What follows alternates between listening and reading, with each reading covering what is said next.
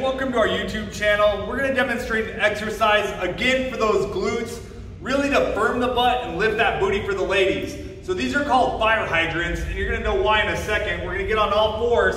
Knees are gonna be at a 90 degree angle, and we're gonna come all the way up, squeezing the glutes at the top of the exercise, and then all the way down. Now, obviously, you see why they call those fire hydrants, like a dog is peeing on the fire hydrant. So you're gonna lift that leg up, squeezing the glutes, working the core here, and all the way down. Switching legs, all the way up, all the way down. We're gonna do 30 on each leg to start.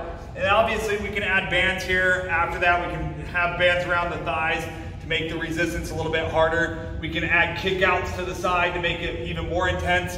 Uh, but for now, fire hydrants is straight up, straight down, working the glutes.